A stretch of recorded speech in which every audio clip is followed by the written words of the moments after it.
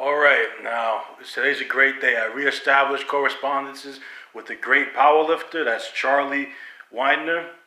You know what I'm saying? He's making tremendous strides in his powerlifting journey in Masters 2, 220 class. He's almost ranked sixth out of the whole world in the Raw division.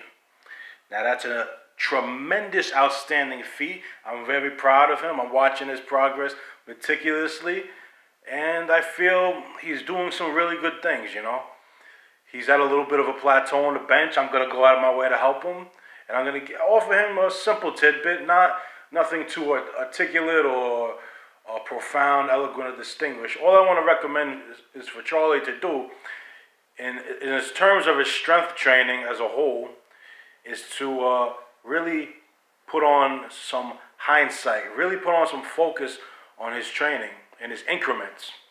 Now, what I'm recommend for Charlie to do is to utilize the pin press off a dead stop uh, feet, a dead stop angle, where, where you're right at the chest, and to also utilize the micro loading system, which is going to give him time to program volume and build from that point on.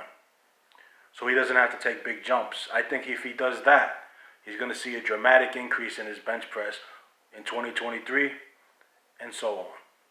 Try that out, Charlie. Try the dead stop pin press as well as micro loading with the one pound increment plates. You could get half pounds. You know what I'm saying? I recommend, you know, half pounds or, or one pound. And go from there. And just program as you as you feel. As you feel, you add more. This is gonna heighten your central nervous system, and I think it's gonna be a good thing for you. In a sense, I don't know if you was doing it already, but micro loading is a very good way to progressive overload. And especially in the advanced and elite level stage of weights that we're lifting, you know, it's going to help out.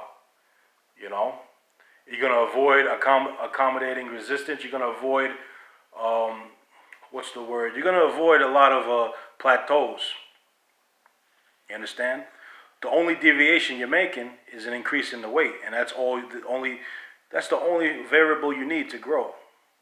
Small things. So try that out, Charlie. I'm rooting for you.